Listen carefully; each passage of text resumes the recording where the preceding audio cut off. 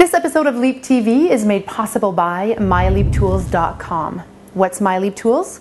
Well, it's a collection of video tutorials about branding, marketing, and business growth tips to really help small business owners from 0 to 12 employees take their business and their brand to the next level. Coming up on Leap TV, we're going to talk about when is it necessary to let go. We all need to do that once in a while. And we'll also talk about if you have difficulty making decisions, then decision making tips come in right up. I'm Isabelle Mercier, and this is the show that shows you that small, intentional, and consistent actions lead to massive results.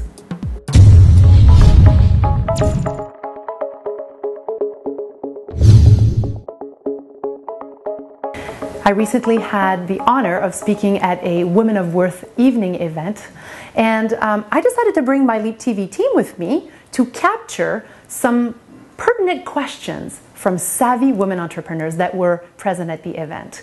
Here is a question from Kathy Kuzel from theconnectedwomen.com.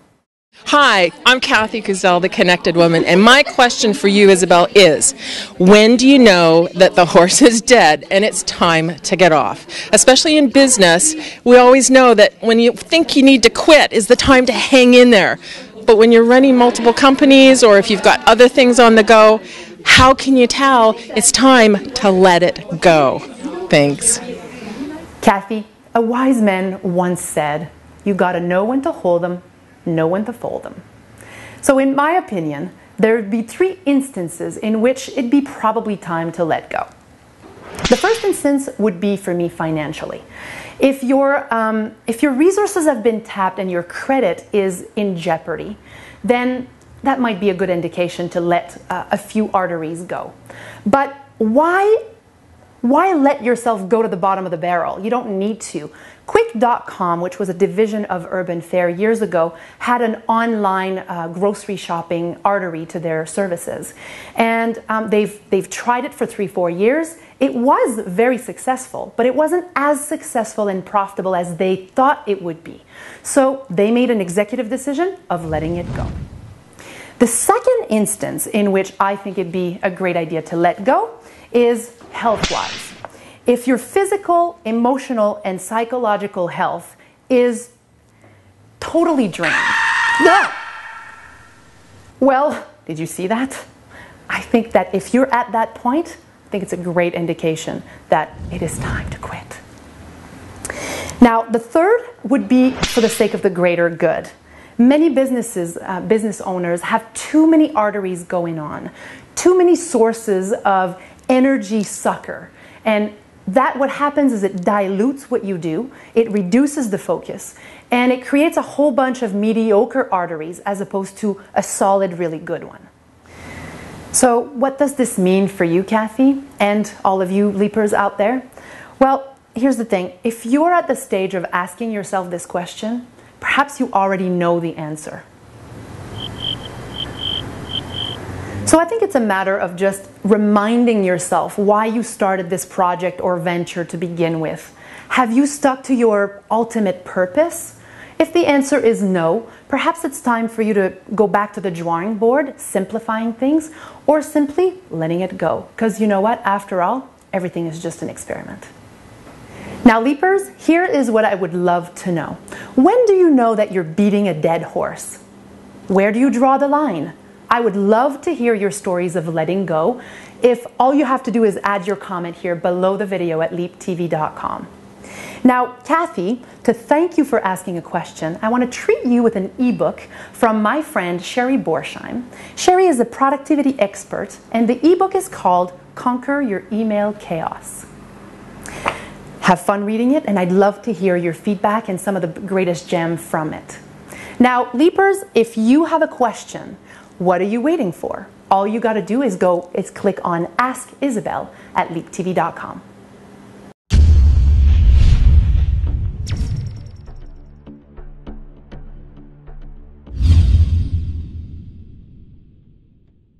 Hey guys, what if you were part of a community, which I know you are, and you discovered that some of the kids go to school without breakfast, without having had breakfast, without proper warm clothing, and possibly even without a lunch. Would you want to do something about that?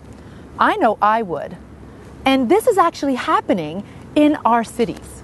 So, the Vancouver Suns Children's Fund decided to do something about it. They have a campaign called Adopt a School, which I think is a fantastic idea, and I'm thrilled to be a part of it. For every dollar that you donate to Adopt a School, it actually goes directly to helping the children with their basic needs. And if you don't have the funds to donate, no problem. They have a Facebook page. All you have to do is click on like. As soon as you like the page, TELUS is generously donating $1 for absolutely every like. It can't be easier. I encourage you to visit www.vansunkidsfund.ca and join me in making a difference.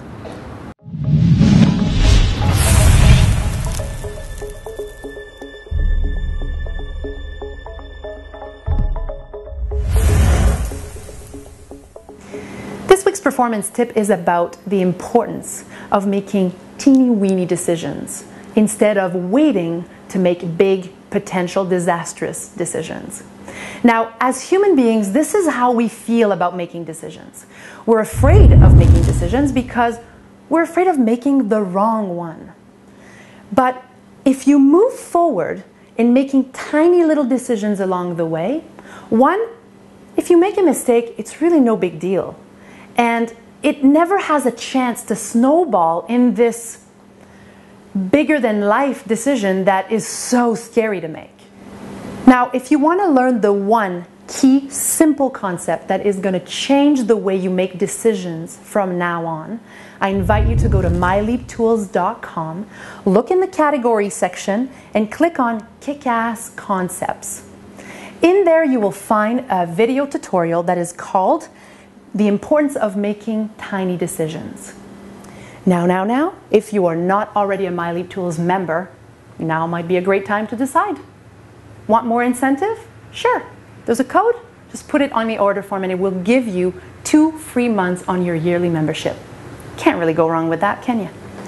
Now, if you've liked this week's episode, show me some lovin'. And of course, we want to hear your thoughts, so don't forget to give me your two cents below this video at leaptv.com. Now, that's it for this week's episode. Remember, everything you've learned here today will do crapola for you, unless, of course, you implement it. So do yourself a favor and pick one thing in this episode that you will start implementing right away. And remember that it's much easier to do it than it is to dwell on it. I'm Isabelle Mercier, and I would love to connect with you via Facebook, LinkedIn, and Twitter. Join me again in next episode so we can talk about and exchange more tips and tools to really help you perform like never before. See you next time. Kathy, a wise man, what? I don't know how. It's very hard to say. A wise man once said. A wise man once said. Kathy, a wise man once said, gotta know when to when to hold them, know when to fold them. Okay. Kathy, a wise man once said, you gotta know when to. Oh, come on.